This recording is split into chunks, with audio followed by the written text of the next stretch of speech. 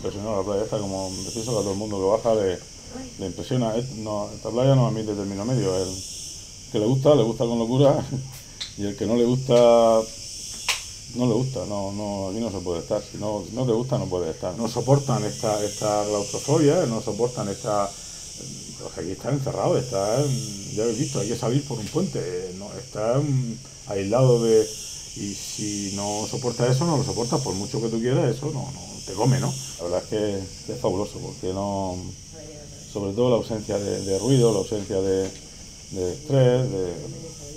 La tranquilidad, en una palabra. Eso yo creo que es la, la palabra que define esta playa es tranquilidad. Hay comodidades, ninguna, prácticamente ninguna. Lo que haya te lo tienes que hacer tú, no... Esto es de todo. Aquí tenemos que servirnos todo. Esto era una pila que había aquí. Una pila que antiguamente la daban aquí las mujeres. Paseábamos los clubes, las mujeres se ponían ahí abajo y se iban llevando las cacharras para, en cacharras para las casas. Han trabajado bastante aquí las mujeres, ¿sabes?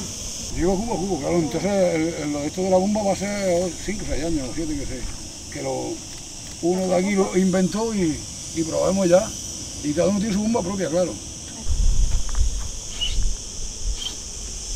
Isabel, oye, tráete una cacharra de agua. Corre.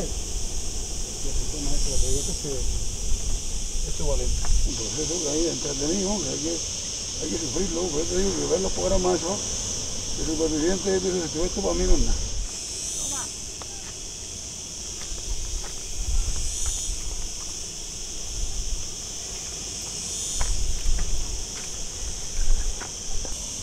¿Y qué, y qué- qué capacidad tiene todo esto? Esto yo tengo que llenar, el tubo se, que- el tubo se va abajo, tengo, tengo que llenarlo, si no, no sale agua. Vamos a ver si quieres llenarte hoy. Y sacamos agua. Ahora cuando se quede a que no haga burbujas, la vayas que se va llenando.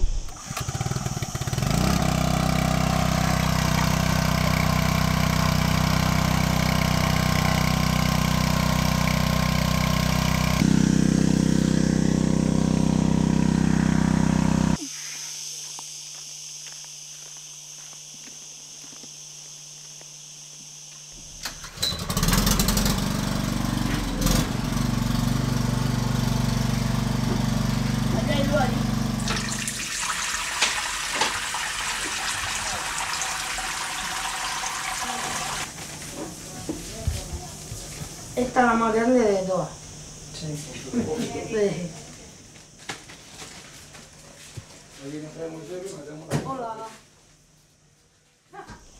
Si viéramos en pensar lo de antes a lo de ahora, las personas que estamos porque lo estamos viendo, pero las que no están, si volvieran a, a- a nacer, no se lo creerían.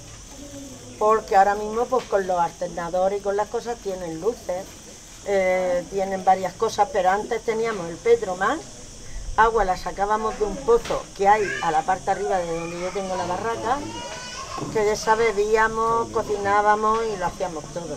O sea que ahora, además los coches aquí no bajaban, se quedaban en el puente de los tres ojos y nosotros teníamos que, que bajar, como yo digo, como lato, gi- con todo el lato gitano, a cuestas hasta llegar aquí. Claro, Y con los críos pequeños. Ya tenías que arreglártelas tú para traerte, si, que, porque ahora mismo aquí tienen todo lo necesario, tienen sus platos, tienen sus vasos, tienen todas sus cosas. Pero antes no teníamos nada. Tenías que acarrear desde, desde la punta de un alfiler a- hasta todo. Sartenes, ollas, platos y a la como la tojita. Así que dentro de todo esto ahora es bueno. Pues vivíamos muy, muy pobreticas, pero muy bien. Mi padre era minero, Mi marido era minero. entonces pues trabajaba en la mina y de la mina se bajaba a la playa. Le, había- le pillaba cerca. Y había veces que cuando le hacía la nota me traía la compra atrás en la bicicleta en el portaequipaje de la Unión aquí. Así que fíjese, mm, frigorífico no teníamos, nevera de esas desde la mosquitera cuando podíamos tener algo para que se pusiera fresco, que la mayoría de las veces tampoco había. Pero se pasaba muy bien. Por eso digo que aquí es que le salieron los dientes a todos mis hijos. Tengo cinco y los cinco, ya le digo, el mayor con dos años ya estaba aquí. Y así sucesivamente se llevan unos dos años, otros cuatro, pero aquí desde pequeño. Casi todos los que habían aquí eran mineros. Claro, estaba todos. el Cristóbal Crespo, Sí. estaba el Andrés Lario, Sí, y eran todos mineros. mi marido y quién había más, habían var- el rubio, el, el padre del ángel, Todos los que habían todos los que habían aquí eran mineros. Y todos teníamos la barraca de madera y ya. Nosotros, eh, los que vivimos aquí en esta playa, mm, los que, vamos, los que vivimos, los que pasamos más o menos temporadas largas en esta playa, mm, tenemos claro y tenemos asumido que aquí se pasan mm, bastantes necesidades en cuanto a limpieza de playa, en cuanto a, mm, no sé, el agua potable, por ejemplo, la, energía eléctrica o o simplemente la entrada, el camino es fatal, el camino es terrible, eh, y está medio transitable porque precisamente la asociación de vecinos mm, hacemos nuestra aportación y los que la hacemos, que tampoco somos todos, pero bueno, hacemos nuestra aportación y, con eso conseguimos poner un contenedor para que la gente deposite la basura y no nos deje la playa llena de porquería, eh, conseguimos que el camino esté medianamente transitable y tal. Mm, pero no llegamos, no llegamos, no, nos falta dinero todos los años. Entonces, mm, aunque es por otros temas, pero por de los políticos y tal, tampoco tenemos ni servicio de, de limpieza de playas, ni servicio. Esta playa no existe. ¿eh? Y aparte hay muy poco interés en que exista. En cuanto a los políticos, tienen muy poco interés en que esto exista. Hay otras playas bastante más precarias más malas que esta, y sin embargo pues, están, haciendo más inversiones, haciendo más. ¿no? Fomentando más el turismo y fomentándolas más.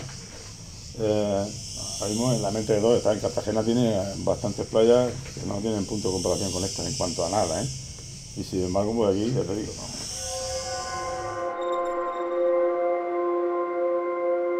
Eh, Cuando se fundó la asociación de vecinos eh, fue sobre el verano del, del año 94, 1994, fue cuando se, fundó. Pues surge en su momento porque un propietario de los montes de aquí al lado, eh, yo pienso y estoy convencido de que lo que pretendía era encontrar una forma de decir esto es mío. Entonces le propuso, como siempre todos los veranos habían rumores de que se iba a entrar una pala, él lo iba a tirar todo y tal, le propuso firmarnos un papel como que él no había autorizado construir las barracas, pero que en el plazo de unos 10 años o así, pues si había que irse, años se iba. Entonces eh, yo hablé con los vecinos y le dije, digo, no firméis eso porque, vamos a ver, eso es reconocerle que él tiene unos derechos sobre eso, si no, pues que te va a autorizar. Claro, la mentalidad que había en aquel momento es que la gran mayoría de personas pensaban, aunque llevaban 40, 50 años algunos, porque en aquel rincón de allá de, la playa hay casas que tienen más de 50 años. La mentalidad es, si no tenemos nada, yo no, nosotros sí tenemos, esto es nuestro, mientras que por lo menos no nos demuestre nadie lo contrario. Y aquí lo que habría que hacer es una asociación de vecinos, como tiene la Algameca, que no sé si te has escuchado nombrar, y bueno, después de mucho hablar conseguí convencerle y entonces que en aquella época yo tenía un negocio de hostelería, pues a través de mis asesores se fundaron los estatutos y se dio trámite en Murcia y se legalizó la asociación. Entonces los primeros pasos que se dieron, eh, hasta ese momento la basura se hacía un hoyo con la pala en la, en la rambla donde están las cañas y ahí se tiraba la basura. Fue convencer a la gente que era necesario sacar toda esa basura, porque ya no, eso se tapa y se deja ya tapado. Digo, no, baja una rambla, pues se entierra y va toda la playa. Bueno, pues aquel año se sacaron pues sobre 12 camiones de basura, se subieron para arriba, no eran, no eran trailers, no era un camión normal. Se acordó también lo de poner los contenedores, se encauzó la rambla otra vez, que se había roto, cortaba el camino por diferentes sitios, se acordó lo de las tasas y, así fue como nació la, asociación de vecinos. Vamos haciendo lo que podemos para intentar concienciar a la gente, pero la gente es muy difícil de concienciar. Intentamos que haya algo de, de- de- civismo y de normas cívicas, porque es que si no estaríamos, pues, en verdad sí estaría contenta la alcaldesa, llegaría la basura allí arriba. Resulta muy difícil, porque al final siempre, para que las cosas puedan ir bien, se necesita un poco de ayuda institucional y haría falta porque allí hubiera un coche de protección civil, porque ya baja mucha gente y podría ahogarse alguien o podía sufrir un corte de ingestión o pincharse con un araña, que aquí hay bastante. Tendría que haber un par de municipales por lo menos que se dieran una vuelta por la playa, vigilando a la, gente que pesca fuera de hora, a la que deja basura y la tira, que los sancionen y, y paguen para que asuman la responsabilidad y que sepan que no deben hacer eso. Aquí municipal no hay nada nada, nada, nada. Señales, tenemos a la entrada una señal, una fotografía de la cala en la que invitamos a la gente a venir. También pusimos en su día muchos carteles eh, bien hechos de hierro con chapa y pintados como por favor no tiras basura, pero que, que no acababa arrancado, pues acababa con la basura amontonada alrededor.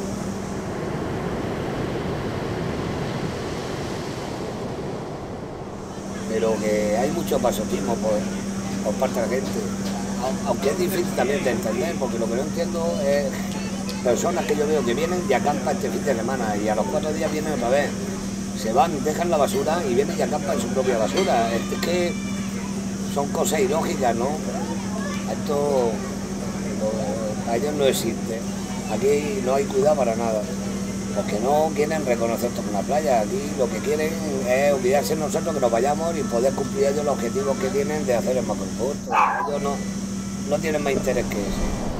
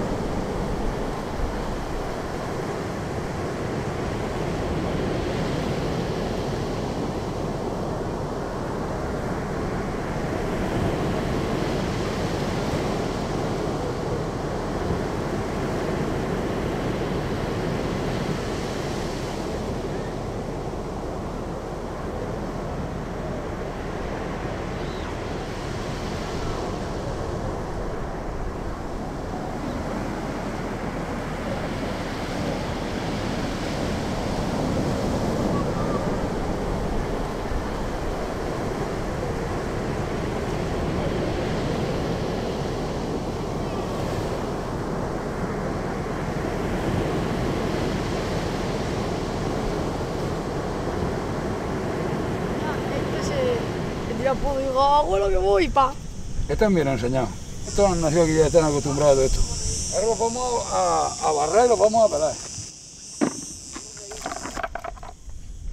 Date, date cuchillo y después.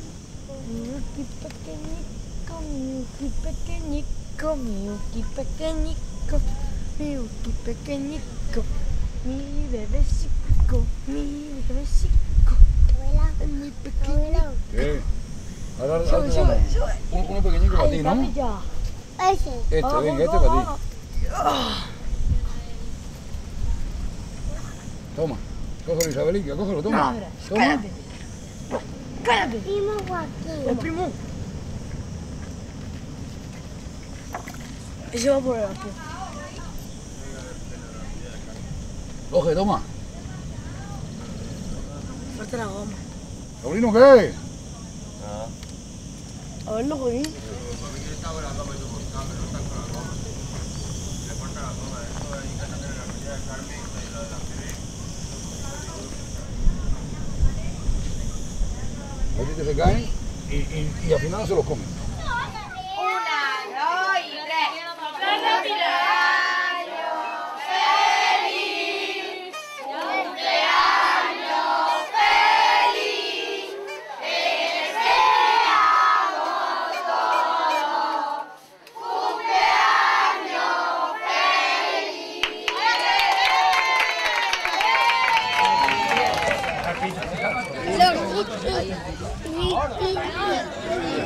Manolito, ¿quieren ver? Aquí mucha gente. De aquí de la playa, casi todos son hijos o nietos de los mineros.